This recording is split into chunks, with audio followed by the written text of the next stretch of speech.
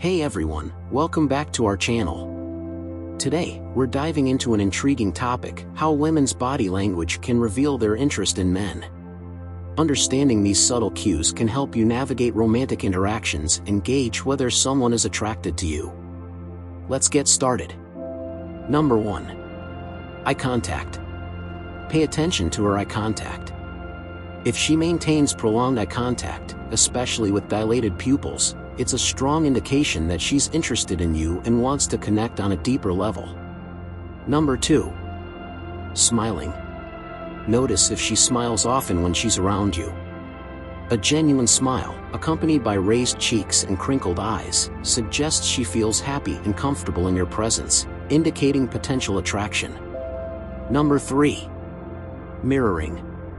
Watch for mirroring behaviors, such as mimicking your gestures, posture, or facial expressions.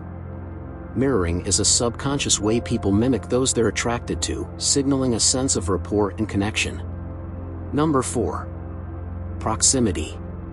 Pay attention to her proximity to you.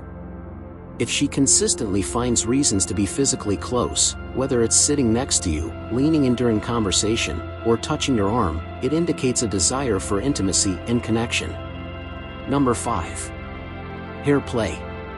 Notice if she plays with her hair when she's around you.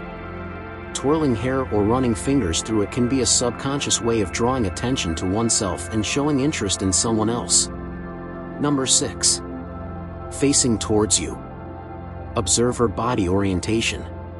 If she consistently faces towards you, even in group settings, it suggests she's focused on you and interested in what you have to say. Number 7. Touching pay attention to any incidental or intentional touches. Whether it's a light brush of the arm, a playful nudge, or adjusting your collar, physical touch is a common way people express interest and attraction. Number 8.